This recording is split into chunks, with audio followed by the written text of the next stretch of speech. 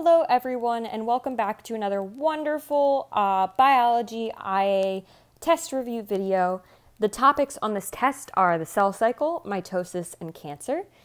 And feel free, as usual, to put this video on two times speed. I can only talk so quickly, and there are a lot of topics to be covered today. So, in order, the topics I will be covering are DNA structure, mainly supercoiling, interphase, mitosis, electrophoresis, and cyclins, as well as then we'll go into cancer. All right, so let's get right into it. So, supercoiling, what is it? Well, it has to deal with DNA, obviously. So, we're going to be in this entire time today talking about eukaryotic cells. Eukaryotic cells have linear DNA with histone proteins. When that DNA is with those proteins, it's called chromatin. And it can be said that chromatin usually looks like uh, beads on a string. And the reason that it looks like that is because some parts of the DNA needs to be unwound. That, those would be the string part. And they're used for replication, or transcription or anything really. And the parts that look like the beads are going to be where we're thinking of the uh, winding to ha- being happening, right? That's where the coiling is. So, supercoiling refers to this chromatin or this DNA being wrapped extremely tightly around these histones so that the cell can undergo mitosis. It makes it easier for the chromosome to be pulled apart into those sister chromatids, and it keeps everything from getting damaged because if you have like a big mess of DNA and you're trying to pull it apart, it's not going to go real well because you've got that big mess. So instead, what we do is supercoil it. Now, supercoiling is going to be what we see in this picture here where it's wrapped around each nucleosome two times and then it just keeps going. So we might have a nucleosome, it'll go two times. We might have another nucleosome, it'll go another two times, so on and so forth. So let's go over some of the important vocabulary that we need to know for supercoiling. So we've already talked about chromatin, but let's just review it very quickly. It's going to be DNA with protein histones, right? Chromosomes are going to be that supercoiled DNA, and again, that's going to have that like signature kind of chromosome look, the X. And then we also have our sister chromatid, and that's going to be one half of that X is going to be the sister chromatid, and then we'll have another exactly the same one over here, right? And then we have the nucleosome, which is what I was talking about prior. That's the dark purple here and that's just going to be what the DNA wraps around so that it can supercoil. It, it helps it to. And again, the DNA is going to coil around each nucleosome two times, and then there will be multiple nucleosomes that they go around. Now, that was not a super in depth look at supercoiling, but that's really the basis of it, and I can't see how much more in depth we could get with this exam. So then, then let's talk about interphase. So interphase is where the cell is going to spend the majority of its life. And it's kind of the largest chunk of the cell cycle, almost, right? I mean, it, it definitely is. So in this picture, we have mitosis, which is over here, and the rest of this is all interphase. What's kind of important to think about is that while this is where the cell is going to spend the most of its life, it's not doing necessarily a whole lot right here. So it is going to go through G1, S, and G2, but that doesn't necessarily mean it's doing very much. It's just mostly growing um, and resting. So at each of these small circles here, we've got what I would consider to be like a checkpoint. And we'll talk about them more in depth with cyclins but it is important to recognize them because we hit our first checkpoint here at G1. And what this is going to do is if there's problems at G1, we're going to go into G0. And this is the only place where that can happen, where we could go into G0. And what happens here is that we wait for either more resources to become available, the DNA to repair itself, the cell to have like if the body is starving, then we need more nutrients to have our cells replicate, then that's what it's doing there. And if the cyclins determine that the cell cannot keep going on, it cannot move forward, then it's going to go what is through what is called apoptosis. Apoptosis is going to be cell death or cell suicide. I definitely didn't spell that right. But I just like to call it programmed cell death. Because it's basically when the cell is going to be told, you need to die now, you're causing problems. So we see this not just in G0, we can see this anywhere, but it is especially common in G0 just because of the nature of that stage. Moving right along, in the rest of the G1 phase, aside from just uh, that checkpoint and going into G0, what's going to be happening is mainly growth. The cell is going to get a lot bigger, the organelles are going to be copied, and the cell is going to get, make molecules that it might need for replication. Then when we move into S, we're going to be synthesizing a copy of the DNA or replicating that DNA. And that's what we were talking about earlier with the supercoiling, where it might be kind of unwound. That's where that's happening. And there's also a copy of the centrosome being made here. Right. So then we go into G2, which is our second grow phase. Again, we're getting bigger here. The cell is making proteins and organelles, and it might be reorganizing itself, getting ready for what comes next, which is mitosis. And then here we also have metabolic reactions. And this is going to be like what we need to think about when we think of metabolic reactions is not just what is happening in the cycle, but it's also just what the cell needs to do to get through its regular life. So, the most common of which are going to be cellular respiration, which is going to be in both animals and plants, and photosynthesis, which is exclusively in plant cells, right? So, I think that's the main part of interphase covered. So then let's move on to mitosis. Mitosis is a big topic in this unit, so we're going to do it in a few parts here. So, first, we're just going to go over an overview. So, what is mitosis? Well, it's basically when the nucleus of the cell divides, just the nucleus. The rest of the cell dividing is going to be called cytokinesis. That would be like the cytoplasm and the organelles splitting and dividing into two cells. Everything except the nucleus, right? So this is going to occur again right after interphase. And if you want kind of a depiction of what the cell will look like during interphase, that's right here.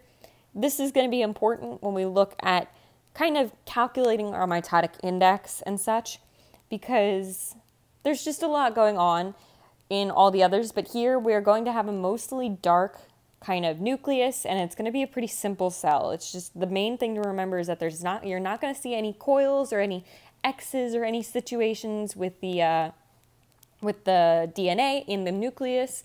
It's just going to be kind of dark and simple.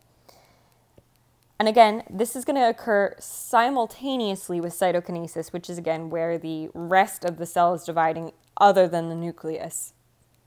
And then the result of mitosis and cytokinesis is going to be two identical daughter cells. So let's go over mitosis. A lot going on here, but let's take it step by step. Prophase is going to come first. There's no really easy way to remember this. It's just if you want to think maybe pro, pre, and pre is pre the rest of the steps. But this is where you're going to be able to see a few of those spindle fibers. A few of those spindle fibers like we have here. You're going to be able to see more of that uh, kind of chromosomy look within the nucleus. This is when that nuclear membrane goes away, so you're not going to be able to see that clearly in an electron photograph, but you can see it in drawings and you can and should draw it if you're ever asked to. Again, those mitotic spindles or spindle fibers are forming. That DNA is condensing and supercoiling like we had talked about previously. And this is where animal cells will like count themselves and sort themselves and figure their lives out. And again, these are drawings of animal cells, but it's going to be essentially the same process for uh, plant cells too. So we move on to metaphase, and the easiest way to identify this is it's where all of the chromosomes are going to line up in the middle. Those spindle fibers are going to be attached to each chromosome, ready to at the centromere, which is kind of, if we think of the chromosome like this, the centromere is going to be right there, and it's where the cell can be pulled apart, I believe. And again, those chromatids are aligning in the middle. And that nuclear membrane obviously is totally gone. So, again, if you're asked to identify this, then the easiest way is to look for that uh, X formation in a straight line in the middle. Anaphase is when those sister chromatids are pulled apart. So they go from being like this to separated, right? And they're going to move to the poles, which is just a fancy way of saying opposite sides. And then nuclear membranes in telophase, those nuclear membranes are starting to reform as the chromosomes decondense and stop being so tightly supercoiled. And two separate nuclei are forming so that the cell can split. And here you also see the cell kind of pinching in because we're looking at that uh, animal cell. This is going to be slightly different in plant cells. So let's talk about this next. So mitotic index, which we I had mentioned previously, mitotic index is going to be finding like the percentage or the amount of cells that are in mitosis. So the way that you're going to do that is with this formula here. You're going to find the number of cells in mitosis and divide it by the total number of cells. So you could be asked to do this using a picture of a group of cells that are in the middle of living their lives and going through mitosis or interphase. And the main use of this is to know how many cells are dividing, which can be an indicator of a lot of conditions, including cancer. And the reason, the way that we can do this with cancer, and the reason why it's important, is by looking at a typical, like if we're talking about lung cancer, by looking at a typical regular mitotic index for lung cancer and comparing it to someone's mitotic index in their lung cells, then what we can det- determine determine determine is whether or not those cells are dividing too often. If too many of them are in mitosis, then too much division is happening, and that could indicate that there is a problem causing uncontrolled uh, uncontrolled division, which would again be that mitosis. So then let's look at cytokinesis, which again is happening simultaneously as uh, mitosis, which is why I just threw it in with the mitosis group. And this is going to be the division of everything aside from the nucleus in the cell. So for animals, that's going to be the furrow pinching inwards, which is what we kind of saw earlier. But for plants, it's going to be a little bit different. So if this is our plant cell, we've got a nucleus here and a nucleus here. We're going to start having this like cell plate, as it's called. And that cell plate is going to form in the center. And then it's going to kind of split off, causing there to be two separate cells. Because naturally, plant cells are already kind of linked together very tightly. That's just all it needs to do. Whereas plant, whereas animal cells pinch off and then kind of separate from one another, right? So if we have the animal cells that would kind of be like this, and then they'd pinch off and then they'd go their separate ways, right? They don't need to be friends forever. Moving right along, we have electrophoresis. So this is kind of a bigger topic, but let's just jump into it, right? So electrophoresis is going to be used to separate proteins or fragments of DNA according to size. So, how does it do that? Well, let's back up. Let's talk about restriction enzymes. So, restriction enzymes are going to be able to cut DNA at specific sequences. So, this might be like we see in these two pictures here, it might be at the CCC break GGG, right? Fine, simple. They originated from bacteria that use them to protect against viruses by cutting off specific parts of their DNA. So, the way that we can use them as scientists is by separating coding and non coding regions or just separating parts of DNA. And the way that you'll see this potentially on the test is that you may be asked to draw these division lines like I have here. Or you may be given like a circle and be given numbers at A, B, C, and D or whatever and be told that uh, maybe uh, a specific enzyme cuts A cuts 0 through A. How many fragments are there and how big are the fragments? So you know that there would be two fragments because this is 1 and this is 2. And you know that one would be 120 because that's 0 to 120. And the other would be 430 divided by 120. Or minus, sorry, minus 120. So you would get 310. Right. Not too hard, but just keep in mind that you probably want to draw out every single time so that you're getting a better sense of how many fragments there are and how many numbers you need to find because I think that's the most challenging part about these problems is when you're looking at a circle it's kind of kind of complicated to see where it's going to split. So then let's talk about blunt versus sticky ends. So blunt ends are going to be where the DNA is split flat right? So this right here, I would consider a flat split. Keep in mind that you want to look and see that the parts of the cell that you're looking at are going to be exactly opposite. This is going to be a sticky end, and the reason I say this is because it is not exactly even, it's kind of blunt, right? And so this would be where that DNA is still cutting at the same point. It would be the GA or the GA, right, on both sides. But it's not going to be blunt like the other one.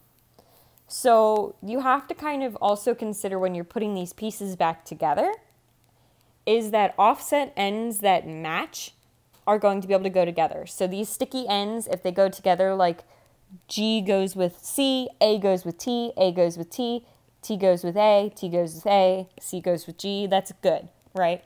But you might have a situation where you have A and C or T and T and G and they would not go together. And so then in that situation those pieces would be from separate sticky end splits. Even ends will always be able to go together more or less. They will always have their opposite pair. But it's not as restricted as with the sticky ends. So all of this leads up to being able to use electrophoresis for several reasons, several uses, but parental identification or paternal tests and um, crime scene analysis are some of the biggest ones. So, electrophoresis again works by using a buffer a gel, some electricity, and some dyed DNA, and separating that DNA by length. So, by running an electric current through this DNA that you have chopped, chopped up using your restriction enzyme, you are able to separate the DNA by length. And because that DNA is dyed, you can look inside the little like electrophoresis box basically and see where it lines up. So I've drawn us, a, drawn us out a pretty little example here that we can look at together. So if A is going to be our um, sample from, let's pretend it's a sample from a crime scene, and B and C are our two suspects. We know that because A lines up with suspect C, that must be the criminal, right? Or the person that was at the crime scene. So, what is the process kind of of electrophoresis and using it for parental DNA or forensic analysis? So, first we need to use these VNTRs, which are tandem repeats. These are essentially common in every single person.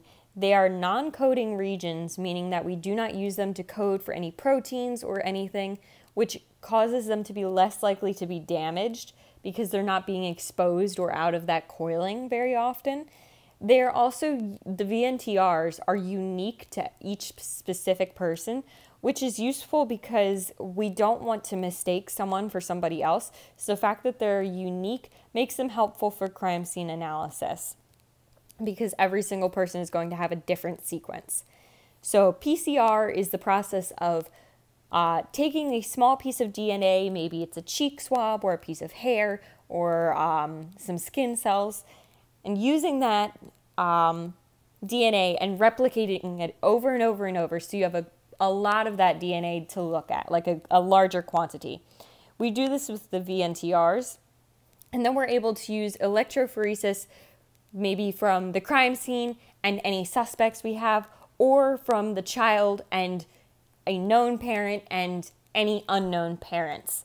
So, for example, with the child, if we have the mom's DNA and we have the baby's DNA, then we can take any potential fathers and test their DNA. And maybe uh, in this imaginary world, this is what the baby's DNA looks like. And we know this is mom. So we know this has to be dad because the baby's DNA is a perfect combination of the two, right? Because the VNTRs are inherited from your parents. And that also makes them helpful from the standpoint of using them to identify who the parent is is that there's always going to be a combination match from parents to baby. All right, let's talk about cyclins. So we talked about cyclins briefly before when we looked at um, we looked at interphase and mitosis and the whole cycle. But let's talk quickly about how they work. So when the cell reaches a checkpoint, it is going to send up a red flag that says, hey, we need to make sure everything's going okay. Can someone come over here and look at this and tell us that we don't need to go through apoptosis, or if this is G1, we don't need to go into G0 to rest for a bit? And so Cyclin will hop over and go, do, do, do, okay, I can look. And once Cyclin kind of determines that everything's okay, it's going to bond with something called CD, CDK, and this is going to signal that the checkpoint is cleared and it's going to allow the cell to keep moving forward with the cell cycle. So there are three checkpoints that require cyclin, and there are four types of cyclin. So four, the three checkpoints are going to be G1, G2, and M. And at these points, obviously the cyclin's going to come over and it's going to check everything out. And when you see that happening, you can kind of determine where in the cell cycle a cell is based on what their cyclin levels look like because one type of cyclin will always be going on. So if this is our graph, one type of cyclin is always going to be there. Another type of cyclin will spark at the end of G, G2. A third type of cyclin will kind of happen for G, or sorry, G1, G2, and then the fourth type of cyclin will spike at M. So this is how you can kind of tell where exactly we are in the cycle, right? Is because you can determine using these cyclins. So it's also kind of interesting to think about that the discovery of cyclins was an accident. And this is on the review sheet, but it, it's not something we specifically talked about in class, but I'll just review it because I think it's kind of a funny story. So um, our teachers talked about how cyclins mean cycle, and they do, but they technically mean cycling because the person who discovered them discovered them by accident when he was study- studying the life cycle of sea urchins, and he found these cyclins. He found the uh, like information and data about them and kind of understood how they worked with the life cycle of cells and whatnot and he named them after his love of cycling, which I thought was just funny because the guy likes to bike, determines like a groundbreaking thing in DNA and uh, cell cycle, and is like, yeah, I like to bike. Let's name it that. All right, dude, whatever. So, finally, let's move on to cancer. So, we're going to start out with a bit of vocabulary. So, carcinogens are going to mutate DNA, and that's going to result in a tumor.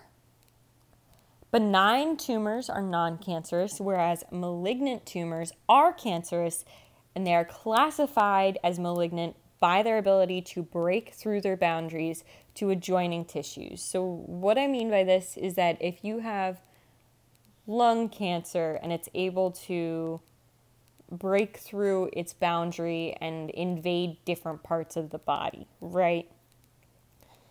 That is different from metasta- metastasis, sorry, metastasis, because metastasis is kind of like the ending term of cancer. And this is going to be when a tumor spreads to a new place in the body, usually through the bloodstream. So if you have breast cancer, this might be when the breast cancer moves to your lungs or moves to your um, muscles. And we find we don't just find a new tumor there, we find breast cancer cells there, right? So the main causes of this are going to be mutated proto-oncogenes, which just turns them into oncogenes. And that's going to be kind of like our gas pedal. So by mutating this, we turn the gas pedal all the way on and makes it very, very difficult to stop uh, the cell from just repeatedly um, what's the word I'm looking for? Repeatedly dividing. That's a word. Repeatedly diving, dividing because the gas pedal is always on. And We also have tumor suppressor genes, which do as this name sounds, and kind of helps us suppress tumors and helps us be like, whoa, whoa, there, buddy, slow down. They kind of work as a brake pedal. And when they um, are mutated, there is no brake pedal and the, the car just keeps going or the, the cell just keeps dividing. And then what causes cancer specifically? Well, we think it, it takes about 60 mutations of the DNA to start causing cancer.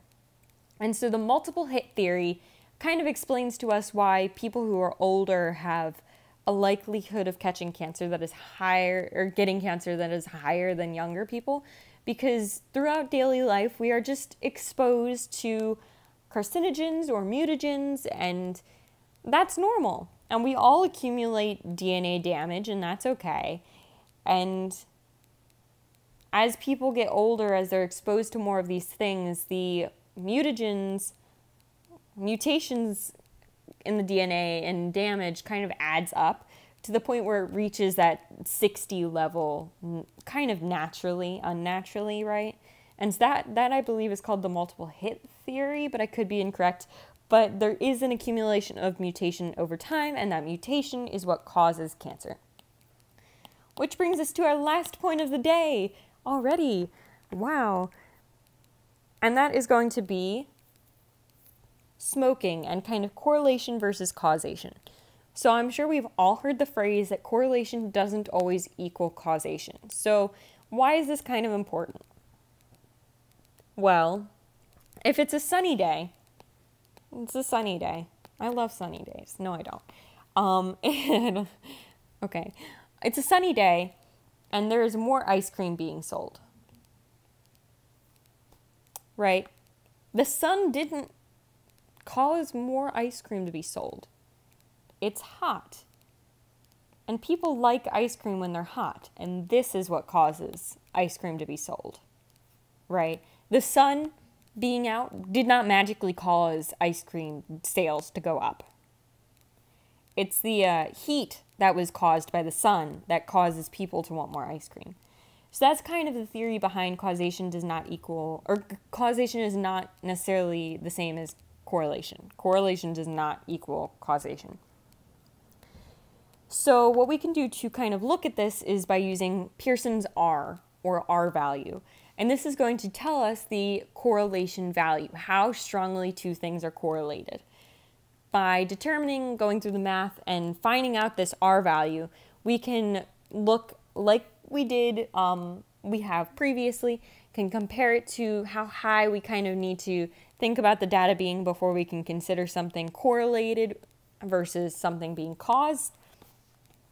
When that value is high enough, we know that there is a higher likelihood of there being a link between the two variables, right? The likelihood goes up that one is causing the other with less variation. So let's talk about this one pertaining to smoking. Correlation there is a correlation between cancer and smoking. We can look at graphs and see that there's a correlation. When people smoke more, they get more cancer. But smoking doesn't cause cancer. Smoking does not cause, by smoking a cigarette, you are not making the cells in your body divide more frequently. What you are doing is causing more DNA damage to your cells.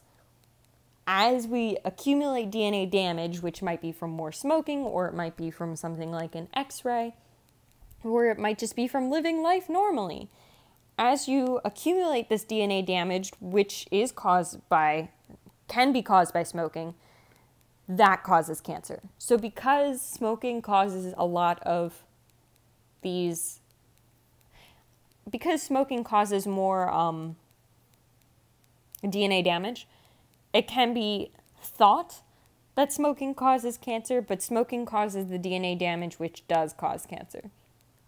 Good? Good. So, I believe that is all I really have to go over today. If you have any questions, feel free to message me or text me or just leave them in the comments and I will see them. If not, I hope that this video was in depth enough because I'm thinking about it now and I'm realizing this was not a very long video, which is nice. But I feel like there was probably more I should have been covering and didn't. But that's okay. Um, yeah. All right, bye.